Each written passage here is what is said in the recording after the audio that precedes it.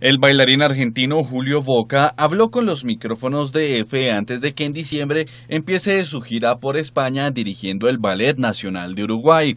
El artista destacó el crecimiento que esta danza ha tenido en el mundo. Bueno, creo que el ballet va a seguir creciendo muchísimo por suerte y, bueno, y depende de nosotros como maestros o como directores de que, que la danza se siga manteniendo en el mundo con la excelencia y la calidad que se tiene que estar presentando cada vez que se levanta el telón.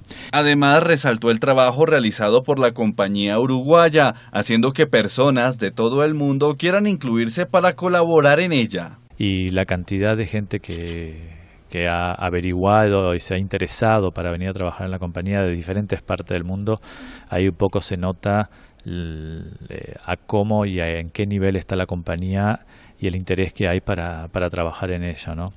El BNS que ya se encuentra cerrando la temporada del 2016 arrancará el próximo año con su gira internacional Argentina, durante la que planea también volver a España y pasar por Italia.